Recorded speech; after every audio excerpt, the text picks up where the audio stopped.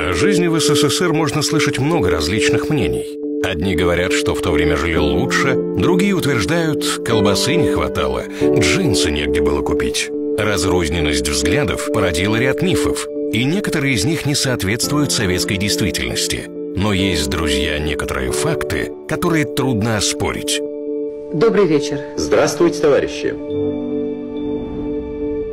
Советский Союз глазами простого человека –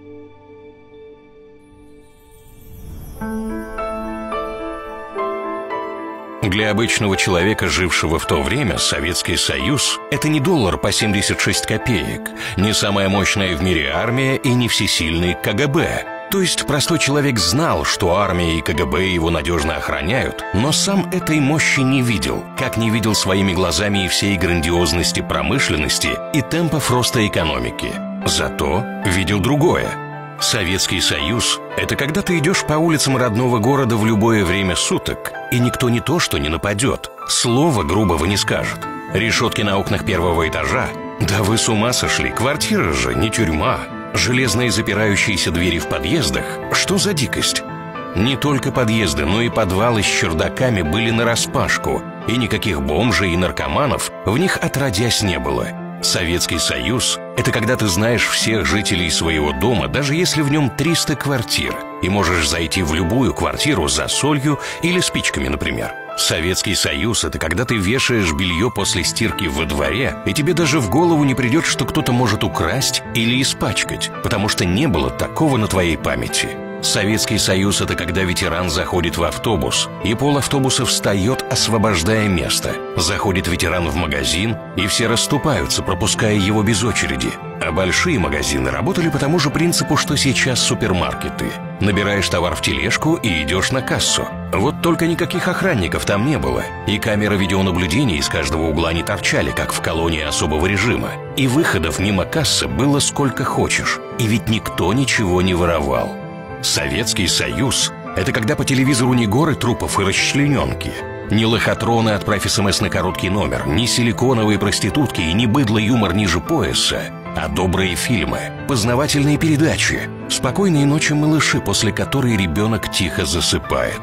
Спокойной ночи, друзья. Советский Союз – это лучшее в мире образование. И самое главное, что оно было бесплатное – Гарантия работы по специальности. Советский Союз – это бесплатные спортивные секции по всем видам спорта, пионерские лагеря, курорты, санатории. Это когда ты приходишь в районную поликлинику и получаешь путевку в санаторий, скажем, в Крым. Бесплатно. Потому что врач нашел у тебя какие-то незначительные проблемы со здоровьем и решил, что тебе стоит его поправить. Советский Союз это когда на Кавказе не терроризм и наркотики, а курорты, санатории и лучшая в мире минералка. А на Украине не бандеровцы со свастиками, а бескрайние пшеничные поля, авиационная и танковая промышленность, чистые города и добрые счастливые люди. А Прибалтика – это не марша СС и не чистка евроунитазов половины взрослого населения, а производство высокоточной электроники и радиотехники, автомобилей и знаменитых на весь мир бальзамов – Высокие зарплаты и вылизанные до блеска даже по меркам СССР улицы. Советский Союз – это когда милиционер воплощает в себе образ советского героя, который не наказывает, а воспитывает. И все это не ради продвижения по службе, а просто потому, что он советский милиционер.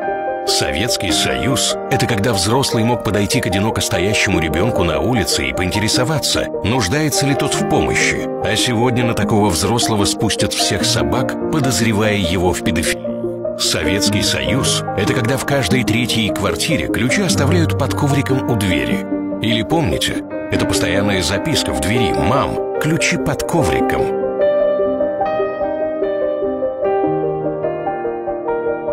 Советский Союз – это когда автоматы с газировкой на каждом углу, и граненые стаканы в них всегда были на месте, а в телефонных будках лежали справочники. Интересно, сколько бы минут они пролежали сегодня?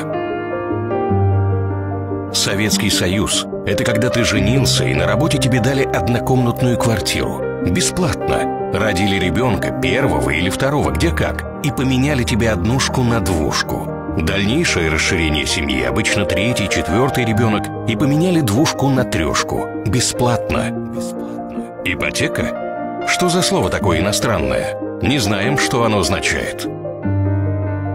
Советский Союз – это когда можно полгода не заходить в магазин и все равно знать все цены. Если батон полгода назад стоил 24 копейки, то он и сегодня так стоит. Хотя нет, можно ошибиться. Мог подешеветь до 22. А вот зарплата каждую весну немного, но стабильно подрастала. И рубль, забытый между страниц старой книги, найденный через 10 лет, это такой же рубль, а не обесценившаяся бумажка. Даже подороже, чем 10 лет назад. Одна из самых навязчивых советских реклам – «Храните деньги в сберегательном банке». Если, конечно, они у вас есть. А знаете почему? Потому что стимула не было. Они и в чулке не хуже хранились. Ни инфляция, ни квартирные кражи советскому человеку не грозили. Советский Союз – это когда быть столеваром или полярным летчиком было так же престижно, как сейчас банкиром а слово «бандит» произносилось не с восторженным придыханием, как в 90-е, а с брезгливым презрением. Ну а слово «террористы» для советского человека звучало так же непонятно и фантастично, как злые трехглазые осьминоги из другой галактики. Советский Союз – это когда до такого извращения, как охранники в школах, никто бы в жизни не додумался. Самым грозным человеком в школе была уборщица тетя Валя, а уж вызов к директору звучало для школьника, как военный трибунал. Ну как еще объяснить тем, кто не застал всего этого – Представьте то место, где вам было спокойней, уютней и надежней всего. Свою детскую комнату, например, или бабушкин дом в деревне. У кого что? Представили? Вот так же мы чувствовали себя в любой точке нашей необъятной страны.